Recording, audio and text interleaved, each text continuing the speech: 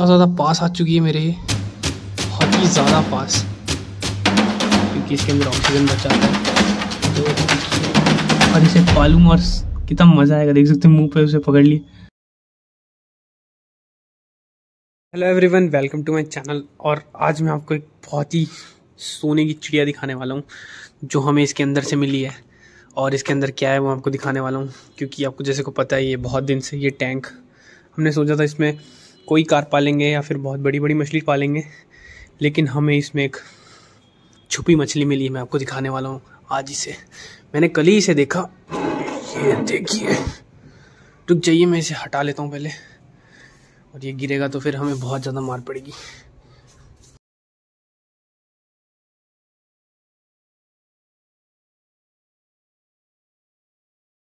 तो ये देखिए, यहाँ पे एक मछली है।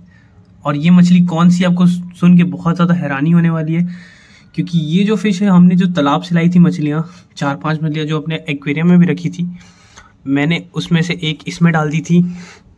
और एक्वेरियम की तो सारी फ़िश की डेथ हो चुकी थी, लेकिन इसमें जो रखी है, वो फ़िश की डेथ नहीं हुई है, और देख सकते हो कितनी बड़ी हो चुकी है। कहाँ पे है ये देखिए, वो बैठी हुई है। और काफ़ी ज़्यादा बड़ी हो चुकी है, मैंने आपको, आप देख सकते हैं मेरा वीडियो मैं लिंक डिस्क्रिप्शन में डाल दूँगा। आप वाली वीडियो जाके देखेंगे तो आपको समझ में आ जाएगा कि ये कितनी छोटी थी। ये बहुत ही ज़्यादा छोटी थी जो एक फ्राई का साइज़ होता है, वो उतनी बड़ी थी सिर्फ़। और देख सकते हैं, ये पानी पूरा रेन वाटर का पानी है, जो कि पूरा भर चुका है। और ये टैंक है, जिसको मैंने आधा कलर किया था, उसके बाद पानी इतनी ज़ोर ज़ोर से गिरा और अभी तक गिर ही रहा है। और आज भी मौसम देख सकते हैं, ख़तरनाक है। तो देखिए कितनी ज़्यादा बड़ी हो चुकी है और हम इसको भी खाना देंगे और देखते हैं कि ये कुछ खाती है या नहीं। हम पहले इसे ऑप्टिम का फ़ूड देंगे या फिर अगर ये क्योंकि वाइल्ड फिशेज है तो हम इसको श्रिम भी डाल देंगे। कहाँ गई भाई? दिख जा मुझे। तो काफ़ी ज़्यादा रिफ्लेक्शन था यहाँ पे तो देख सकते हैं, अभी आपको क्लीन दिख रही होगी। और चलिए इसे अब खाना दे के देखते हैं कि ये कुछ खाती है कि नहीं, क्योंकि मैंने इसे कल ही देखा, देख सकते ऊपर आ रही है, डर भी नहीं रही है। तो जल्दी से, ये देखिए कितना ज़्यादा पास आ चुकी है मछली। कितनी बड़ी हो चुकी है। और ये तिलापिया फिशेज है, क्योंकि इसके ऊपर की धारियाँ मुझे दिखने लग गई है। देख सकते हैं, उसे लग रहा है खाना देंगे।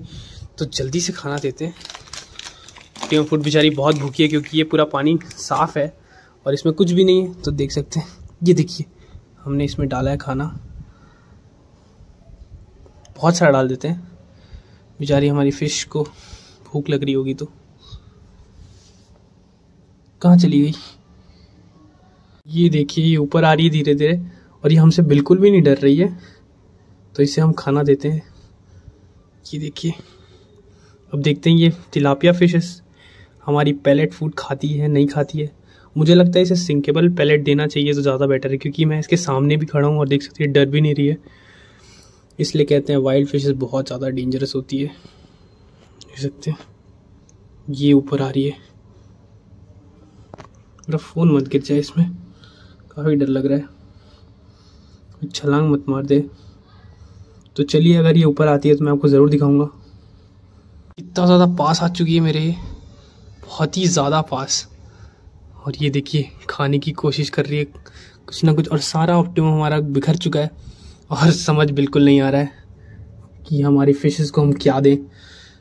तो इसे चलिए हम डुबाते हैं, क्योंकि ये इसको अब धीरे से पानी में डालेंगे। और इसे ज़ोर से मसलेंगे तो ये सारा अंदर नीचे चला जाएगा, क्योंकि इसके अंदर ऑक्सीजन भर जाता है। तो देखिए, जा जा, नीचे जा। ए भाई हाँ ये देखिए, इसे हमने अच्छे तरीके से मसल दिया है, और ये जाएगा अब नीचे, और देखते हैं इसे खाती है कि नहीं हमारी मछली।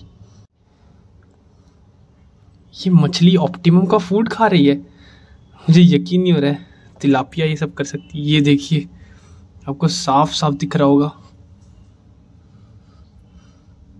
ये देखिए, कितनी हेल्दी तिलापिया। मुझे तो अब मन कर रहा है कि मैं और फिशेस में डालूं और इसे पालूं और कितना मज़ा आएगा। देख सकते हैं, मुँह पे उसे पकड़ लिए कितनी अच्छी तरीके से खा रही है। तो मैं सोच रहा हूँ कि इसमें और फिशेज ऐड कर दूँ। तिलापिया फ़िश ऐड कर देता हूँ, क्योंकि कोई कार्प तो अभी हम ऐड करने का कोई प्लान नहीं है, क्योंकि हमारे फ़िश की इतनी सारी डेथ हो चुकी है तो मुझे गोल्ड फ़िश पालने में अब थोड़ा डर लग रहा है। तो मैं सोच रहा हूँ, ये वाली फ़िश को ही ऐड कर दूँ बहुत सारी। देख सकते हैं, वो वहाँ पे है। तो चलिए आप कमेंट में मुझे ज़रूर बताएँ कि मैं और किसमें कौन सी फ़िश ऐड कर सकता हूँ। और इसमें हम एयर स्टोन बबल सब डालेंगे। उसके बाद के बाद ही हम सोचेंगे कुछ इसमें मछली डालने के लिए। तो चलिए आपसे मिलते हैं कुछ दिन बाद। जब ये थोड़ा टैंक हम थोड़ा सोचेंगे इसके ऊपर, उसके बाद ही हम कुछ इसमें प्लान करेंगे। प्लानिंग के बिना तो सब चीज़ ख़राब हो जाता है इसलिए हम प्लान ज़रूर करेंगे इसके ऊपर। तो चलते मिलते हैं आपसे। Bye bye tata.